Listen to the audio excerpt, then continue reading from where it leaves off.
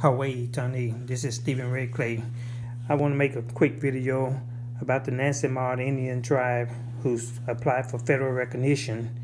And I want to read to you some of the information that they uh, provided the, uh, the Senate on the reason why they're applying for recognition and why they were reclassified as people of color.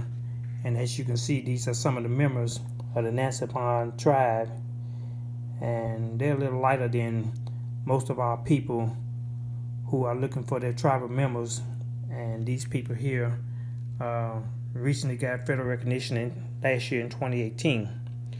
So it says the Nasamada, a Native American tribe recognized by the Commonwealth of Virginia, along with 10 other Virginia Indian tribes on January the 12th, 2018. They signed federal recognition through the passage of the uh, Tama, Thomasina E. Jordan Indian Tribes of Virginia Federal Recognition Act of 2017, which included recognition of five other tribes.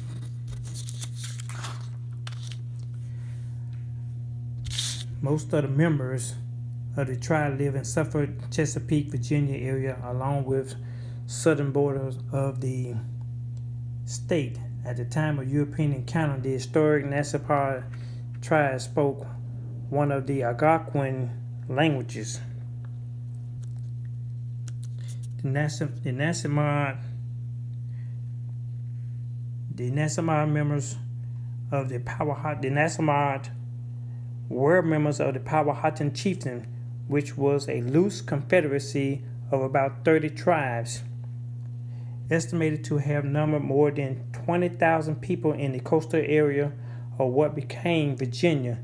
They lived along the Nansemond River area they called Chuckatuck. In 1607, the English people arrived to settle Jamestown and Nansemond were initially wary. In 1608, the English raided one of the Nansemond towns, burning houses and destroying canoes to force the people to give corn to settlers. Captain John Smith and his men demanded 400 bushels of corn or threatened to destroy the village, remaining canoes and houses. The tribe agreed, and Smith and his men left with most of the tribe's corn supply. They returned the following month for the rest, which left the tribe in bad shape for the winter. Relations between the English and the Nassau deteriorated further in 1609 when the English tried to gain control of Dumpling Island, where the head chief lived and where the tribe's temples and sacred items were kept.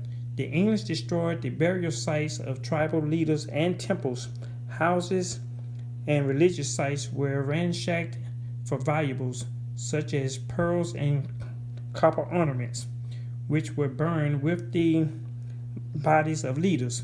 By 1630s, by the 1630s, the English began to move into Nassau land with mixed reactions.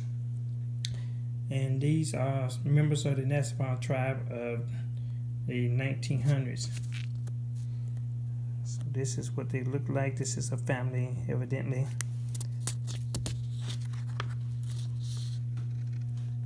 John Bassey an earlier settler in Virginia married Elizabeth the daughter of King of the Nassau Nation. Uh, she was baptized uh, into the Angelica Church Anglican Church and they married on August the 14th 1638 Bass was born the 7th of September 1616 and died 1699. They had eight children Elizabeth, John, Jordan, Kizzy, Nathan, uh, Nathaniel, Richard, Samuel, and William. They became related to the Copin, the Copedi, uh, the Copperidge family through intermarriage. Uh, some Nassau claim descended from this marriage. Based on her research, Dr. Helen Rountree says that all current Nansemond descends from this marriage. making the tribe a family affair. So it looks like all the members of the tribe descended from this marriage. The photo on the left shows uh, members of the Weaver and Bass family. Uh, and then they have William Weaver sitting down. Augustus Bass is standing behind him. And then the Weaver family were indentured East Indians from modern day India and Pakistan. So uh, these people are from Pakistan and East India, and they petitioned the federal government to form a tribe. And they stated that they were free, who were free in Lancaster County about 1710 and about 1732. They were taxable. Note free blacks, generally free people of color, and Indians had to pay taxes in Virginia and North Carolina in Norfolk County and taxable mulattoes, landowners in nearby Hertford County, North Carolina by 1741. So now they claiming that they were free people of color.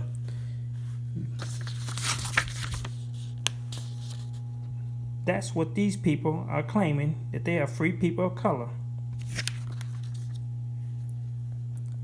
Now I'm going to go on to read Today, the Nansemond have about 200 tribal members. As a citizen tribe, they gained recognition by Virginia in 1984. The disruption of wars and loss of records in Virginia made it difficult for them to provide the extensive documentation and proof of historical continual continuity with continuity needed to gain federal recognition in the 20th century.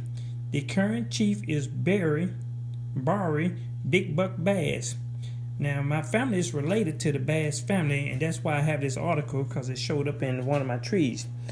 They hold monthly tribal meetings at the Indiana Methodist United Methodist Church, which was founded in 1850 as a mission of the Nansemond.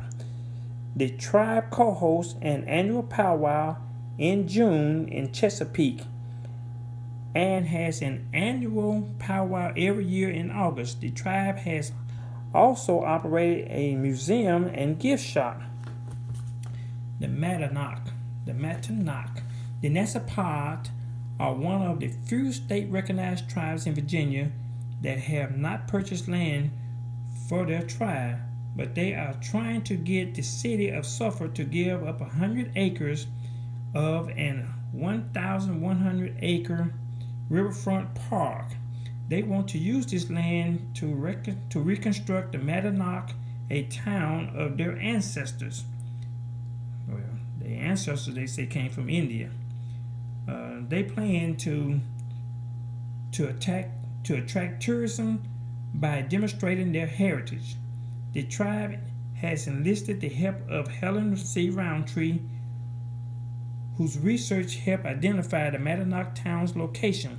The village would would use archaeological and other resource other research to ensure the structures such as longhouses to be built on the site had the proper historical dimensions.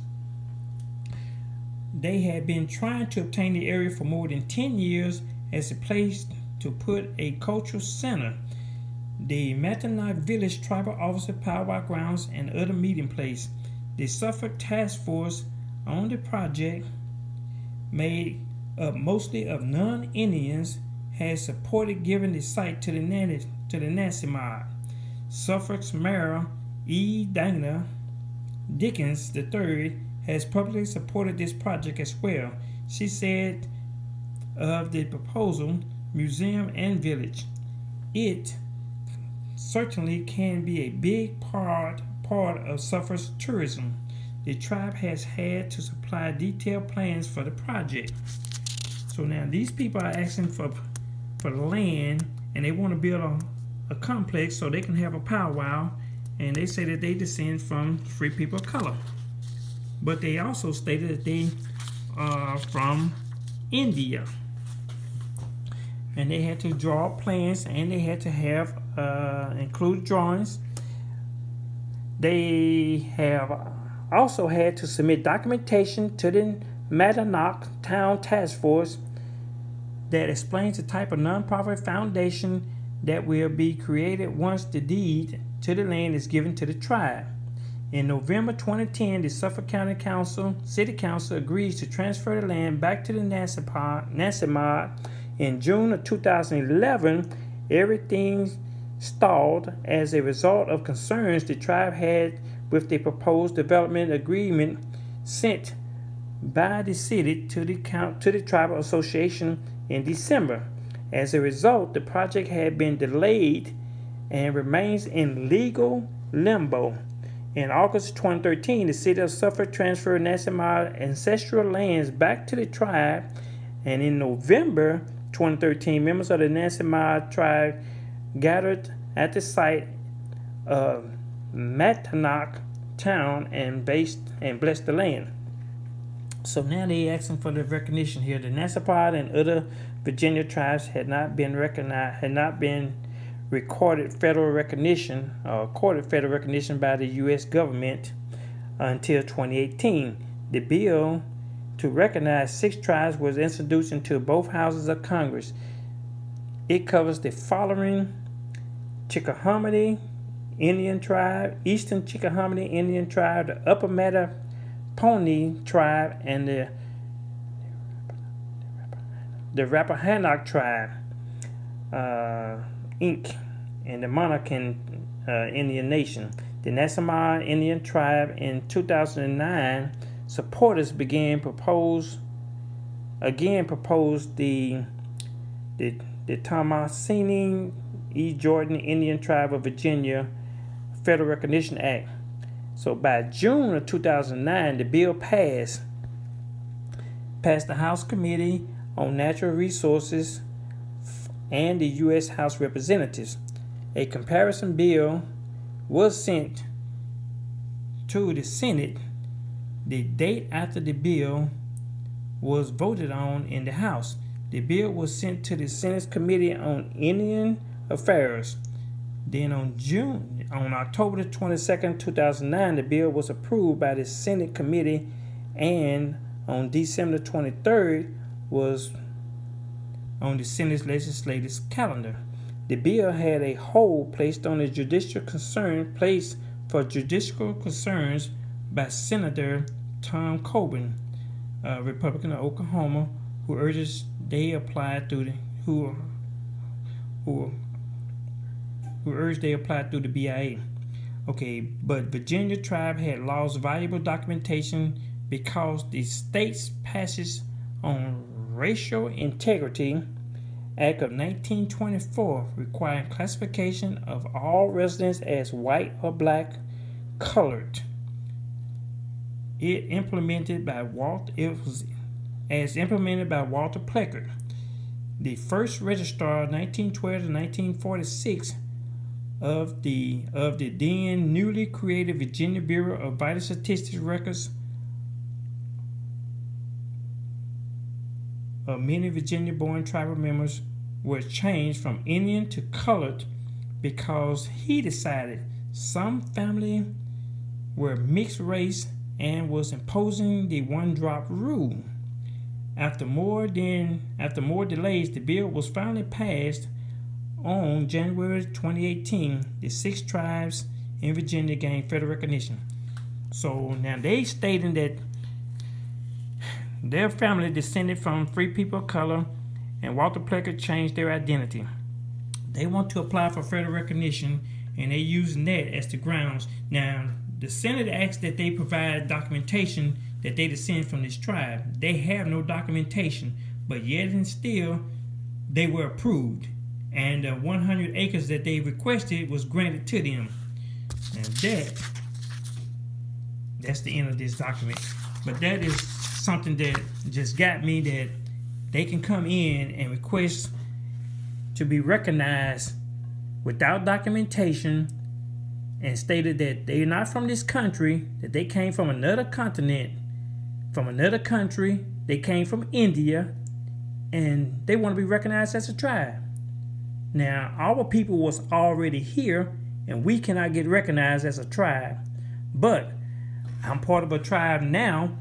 But when I was looking for this information, and I'm sure it's a lot of other people looking for the same information because they have families that descend from a lot of these tribes, especially in Virginia, and the government is refusing to give them recognition. But because these people are saying that they're gonna bring tourists to the to the uh, area and make money for the state, they were approved. That just it's just not right. So I don't know what else to say about it other than, you know, it's just there's no justice in this doggone country. So this is the, this is the, these are the members. I'm gonna zoom in close so you can see the members. I'm using my cell phone here, but if you can see these people here, they don't look like, and you can't go off of looks anyway, because they say that, well, actually you can, because when they stated that they came from another country, that means that they're not Americans. They're not from this doggone land. And they're playing, and in, in Virginia, they didn't wear the Plains Indians war bonnets on their head as these folks are wearing here. And as you can see, most of them are, actually not most of them, all of them are Europeans. Just laying it out there. They are actually Europeans applying for federal recognition and they were approved because they're going to bring in tourists and, and tourist dollars to the state. That's basically what it is. Now, what you think about that? It's a hot mess. All right. This is all I have to say about this. I'm going to end this video. Steven Redclay. Thanks for watching.